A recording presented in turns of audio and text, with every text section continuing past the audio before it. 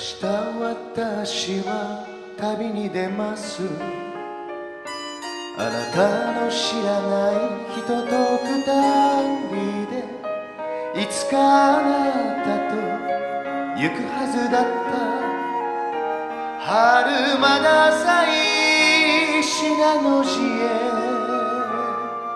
行く先々で思い出すのはあなたのことだと分かっています。その寂しさがきっと私を耐えてくれると思い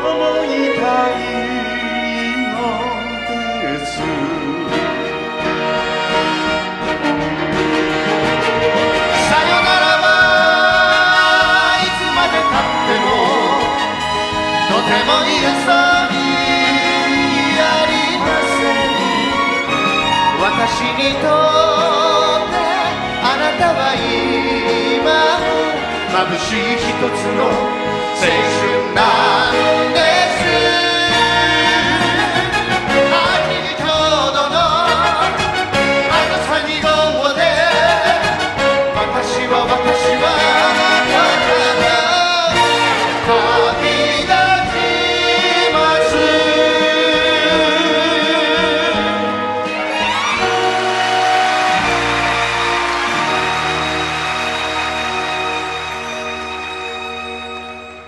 都会の隅であなたを待って私は季節に取り残された。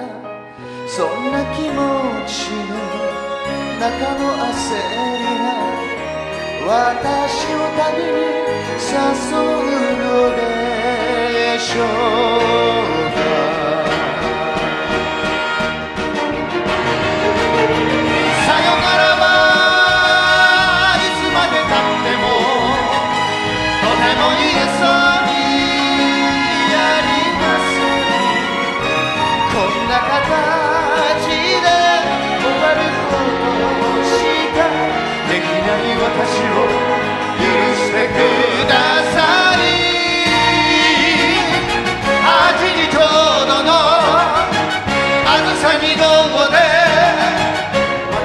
私はあなたから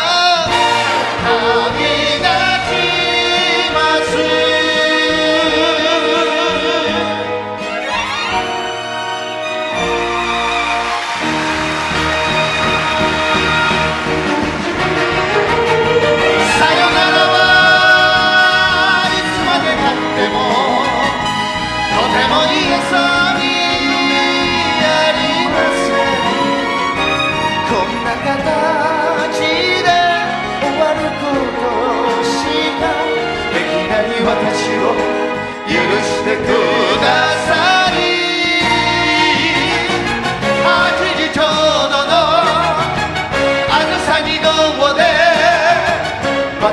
私はあなたか